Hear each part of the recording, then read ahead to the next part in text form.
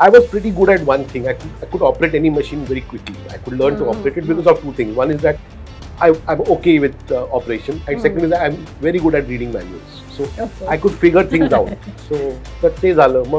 I did quite a few things after that, and uh, ad filmmaking. I got into ad film editing again by accident, and uh, one of the people I first worked with as an AD, who was an AD then, made his first feature film and he had trouble using editing system. So he called me, so I got involved in that film. So uh, that was Dil Chahta. Then when Farhan set up, he made another film, Lakshya. That time he said, this time we are not going to have the same problem. We have to own our own editing system. Mm. But त्याचा studio studio तयार करून दिला Lux.